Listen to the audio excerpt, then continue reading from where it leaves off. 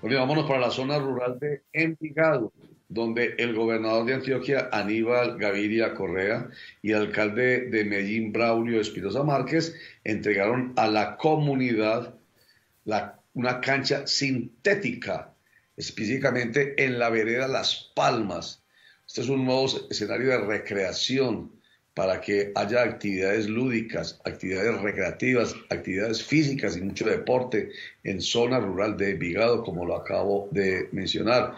El proyecto va a beneficiar aproximadamente a 3.100 habitantes y específicamente a 800 estudiantes de esta zona rural de Envigado y va a tener capacidad para albergar aproximadamente a 250 espectadores. Es una cancha a todo dar, una cancha que, según dice el alcalde Braulio Espinosa, no la tienen muchos municipios y muchas ciudades del departamento. O sea, es con todas las características, porque en ella se invirtieron 3.807 millones de pesos. 2.250 millones los invirtió la gobernación de Antioquia a través de Indeportes y 1.556 millones los puso la alcaldía de Envigado a través de su Instituto de Deportes. Entonces, esta es una muy buena noticia para los habitantes de la zona rural de Envigado, específicamente de la vereda Las Palmas. A ellos se refiere el alcalde Braulio Espinosa. Esta zona merecía tener cancha sintética y a partir de hoy la tiene y mejor que muchas canchas de la zona urbana de muchos municipios del área metropolitana. No es entregar por entregar, es entregar obras de calidad con grama sintética FIFA número uno, que puede durar cerca de 10 años, con todo el uso y el mantenimiento adecuado.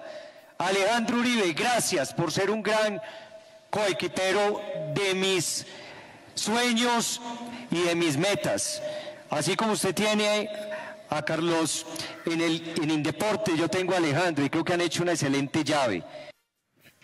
está refiriendo a su director de INDE, del INDER de Envigado, lo mismo que al director de Indeportes. Ese trabajo unido es muy importante. Se trabaja unido y se produce lo mejor por los habitantes de, en este caso, una zona rural de una localidad como Envigado que ha sido muy bien administrada y que precisamente el gobernador de Antioquia, Aníbal Gaviria, le reconoce a Braulio Espinosa y a sus antecesores y espera que el sucesor, quien es Raúl Cardona, o sea, el alcalde electo, continúe con esta idea clarísima de administrar muy bien este municipio del sur del Valle de Aburrá.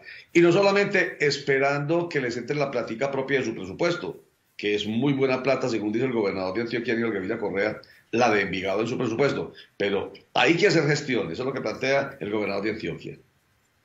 Gestionó recursos con, el departamento, muchos, pero gestionó recursos con otras instituciones y por eso pudo multiplicar enormemente el presupuesto de Envigado. Presupuesto, Envigado tiene un presupuesto bueno, un presupuesto importante, que es un municipio que eh, ha sido bien administrado y eso ha permitido que en forma eh, sucesiva se vaya fortaleciendo en sus finanzas, en su calidad de vida. Pero Braulio no se quedó ahí. Un alcalde se podía quedar un poco ahí en la comodidad de un buen presupuesto, pero no. Buen presupuesto, pero bien invertido. Pero además de eso, gestión para aumentar el presupuesto.